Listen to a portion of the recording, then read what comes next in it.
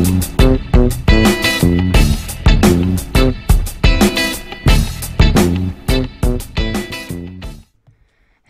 everyone. It's been such a long time since I've been doing this. Happy to be back with you again today. You know, often when I do my watercolor f- girls, I will sketch my sketch out in a very skin tone Prisma pencil. One of the reasons is that it's not highly pigmented and it won't move when I'm putting watercolor over it, and it also blends in with the flesh tones, so it makes it really, really easy for me to be able to to get that sketch out and then not have the sketch lines impeding what I'm doing. And you know, I'm very experienced now at doing portraits and portraiture, so you know, I, get my details right, you know, most of the time, and it's rare that I have to uh, erase what I'm doing. But if I do, I have a Derwent electric eraser which I use on colour pencil, and it works very, very well. Or you can have kneadable erasers, and they do actually erase prismas, particularly particularly the ones that are not heavily pigmented like your purples and your reds uh, and your deep browns. So you can see here I'm just popping those details in. I am using a reference picture of my Pinterest uh, page. Um, she's a lovely fairy girl, but you know, I've added extra things in that aren't in that photo, and I have extra wings in, and I've changed her quite significantly from the original photograph.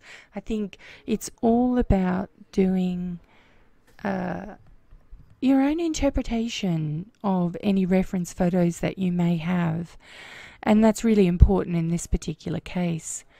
So, all I want to start off here is by saying, you know, have a lot of fun with your sketches. Uh, I did. And I make them reasonably minimalistic. I know where all my things are going to be, and often I can see faintly the pencil through my paint. So it makes it easier for me to then follow what my original sketch was. And I use that um, to my advantage in this particular case.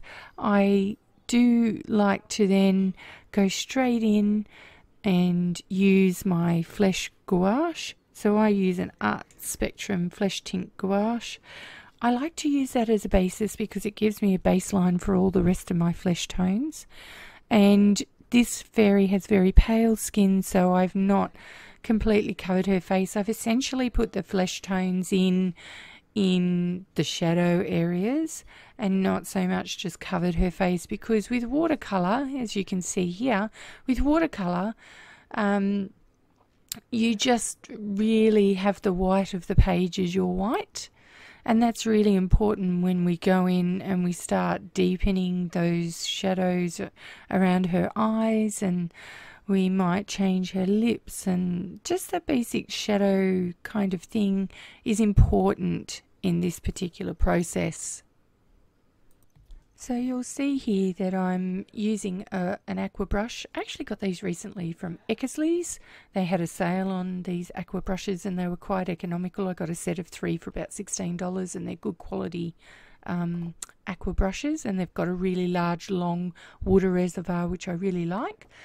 Uh, and I'm popping in my deepening tones, various tones. I've got pinks, I've got um, umbers, I've got ochres, I've got raw siennas, and I just kind of use them all to my own satisfaction when I'm doing this. I'm also using a Naples yellow, which is, you know, a Naples red, which is the flesh tone for Schmincke. And of course, you can see my Schmincke tin there, so I do use that a lot when I'm doing all these details. I have a lot of fun just creating my shadows first. Uh, I do this very gently, and you have to be really careful about um, how wet your paper is so that things don't bleed. So you notice that I'm not immediately painting in the hair or painting in any adjacent features like the nose or the lips. I'm going to let that completely dry before I do anything with it. And I'm going to keep deepening those shadows. And I'll start off with deeper tones of your darks and then I'll kind of blend in because I'm using a beautiful Arches 100% cotton rag um, watercolor paper. It's a medium tooth, but it's only 185 GSM, so quite a thin Arches paper. But believe me, for this sort of picture, it it held up incredibly well. And as you can see, I've not even taped it to the board, so I'm really impressed with it. I usually quite often paint this sort of thing on a block and that makes it much much easier or I tape it to a board. But today I was so confident in the paper that I just left it the way it was.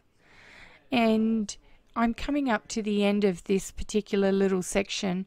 I need to just put all these skin tones in and then darken the ones in for the neck and her bodice and her arm and then I need to completely let that dry before I do anything else. That's really, really important. You don't want any bleeding and you want to be able to do a dry on dry technique if you're putting details in or just see what it dries out to first before you actually put your dark colors in. It's really important to do that at each step in the process.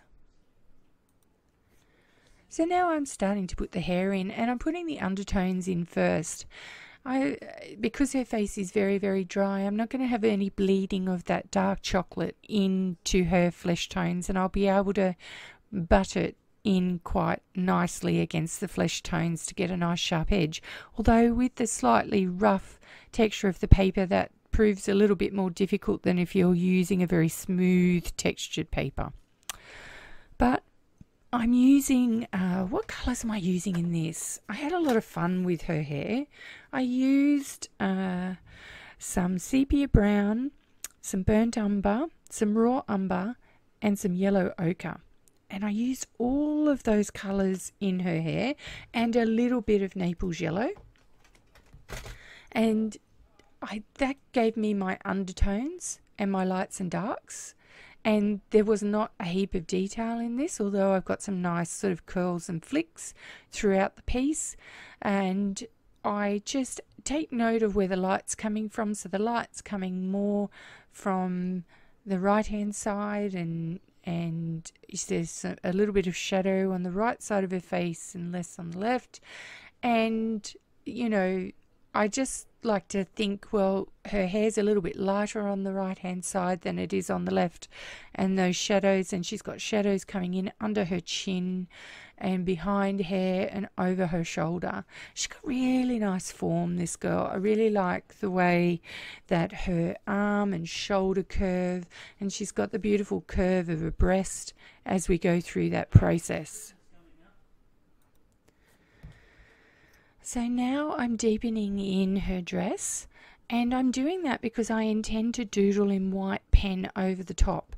So to make that really stand out, I didn't want to leave just a plain flesh tone, so I deepened the colour with an ochre, with a yellow ochre that toned in with her skin, so it kind of is like a, a fleshy kind of a tone.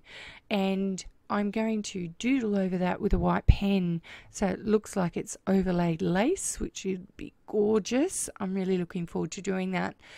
And now I'm just going to keep deepening those colours. So now you can see I'm putting in her eyes. I'm using a deep sepia for that. And I'm going to just put in some very gentle details for her. I'm going to use um, a no-no in the watercolor world where I'm going to mix a pink, a white or watercolor pigment, which really shouldn't be in the palette, but I've got it there, with a fuchsia because I want a pale pink on her lips. And I want kind of a candy pink.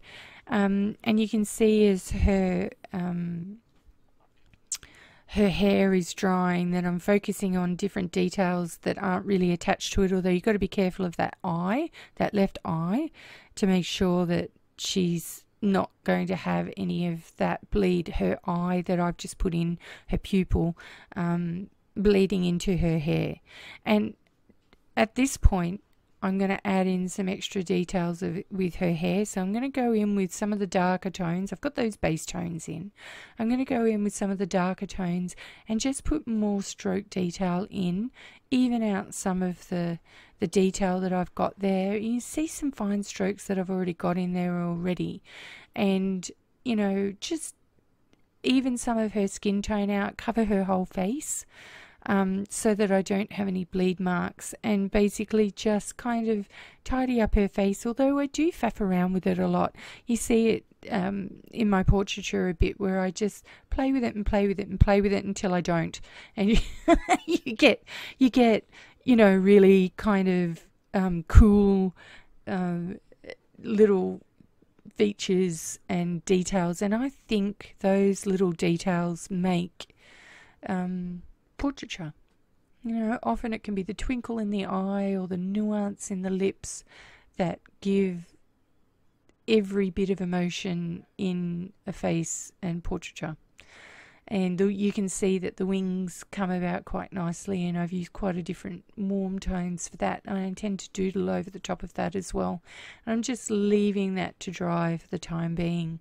And now she's got more kind of luster in her hair I think and more definition.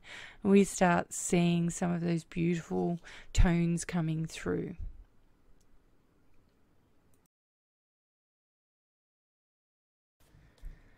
So I start with a dry and I've got a, a silver Wink of Stella pen and I thought, yep, I'm just going to add to her. I love to have fairies with glittery hair for some reason.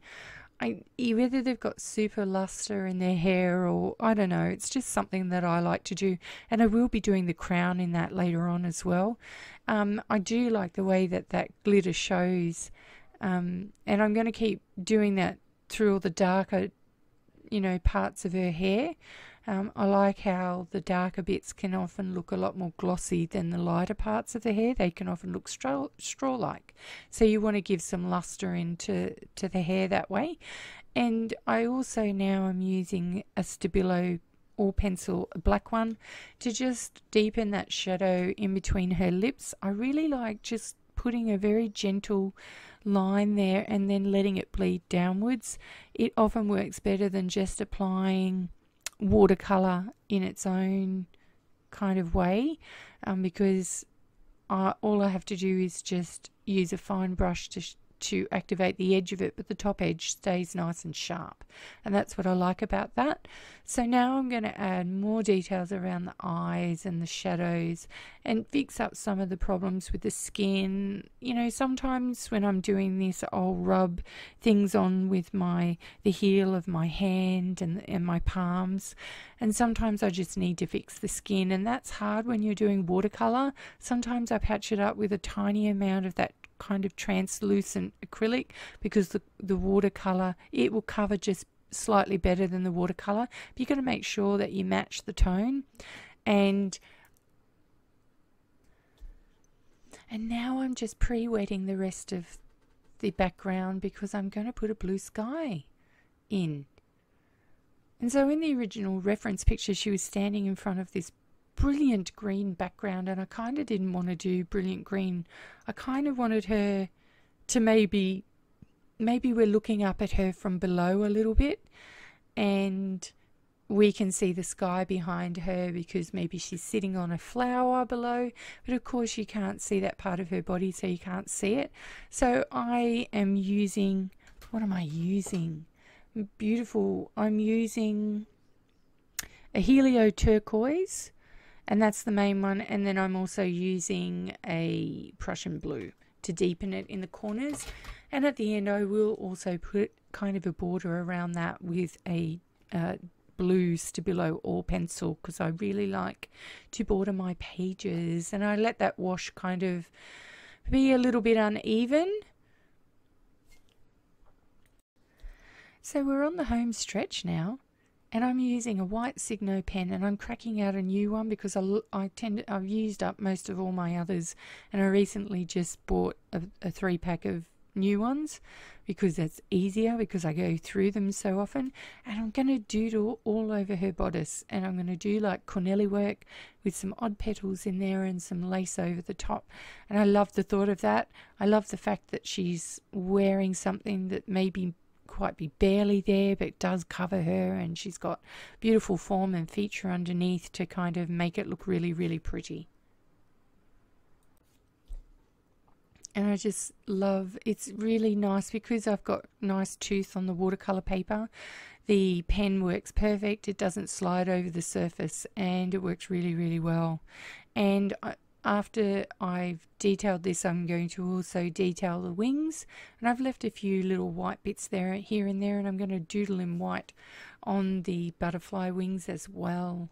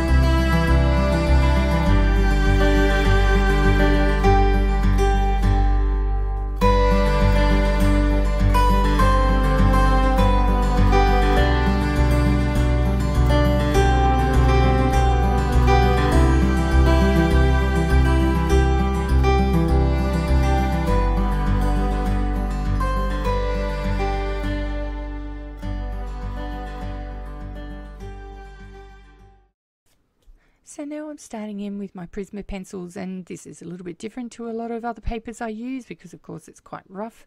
So I make sure that I sharpen my pencils so I can use a nice fine sharp point and I'm just going to deepen the colours of the eyes. I'm going to give her eyes more luster and depth and have some dark points and some high points. I'm going to pop her eyebrows in. I'm going to deepen some of the shadows, use some blender pencils, use a white pencil to blend, use a blending stump. All comes into the mix. And you can see that I've got a little bit of a bleed down the bottom of her chin there near where some of the dark hair bled into her skin and I didn't notice straight away so I couldn't blot it straight away. And then I tried to scrub it out and it did scrub some out but not all out. I also want to make her um, her left eye just that little bit smaller. It's just a little bit too big at the moment. And I think it's dominating the right eye and that's not the intent. I'm going to also increase the size of the iris for the left eye because I think it's just too far over and the eye just needs to be that little bit bigger. So now I'm just adding extra definition with pencils to the hair. I'm adding a few different colours in there so tonally it looks like it's got really variegated colour. Um, and I will just keep faffing around with the face. That's the way that I do things, just to make sure that I get those details right.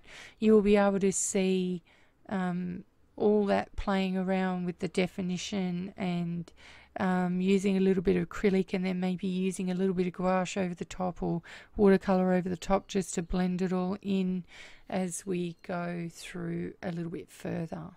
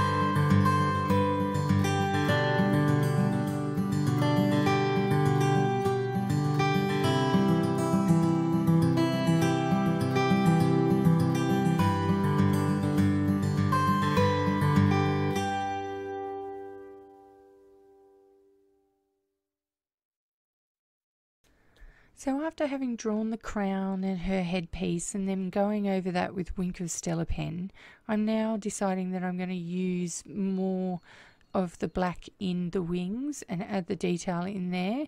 I also am getting back into the white watercolor and I'm putting some clouds in which gives a really interesting kind of look to the page different from just say adding white watered down acrylic but I like it it just gives depth and variation to the background which is really cool. So it's been a while since I've been on here, and I must admit I spent kind of all day off and off, off and on doing this girl. It was really nice to kind of sit down and just.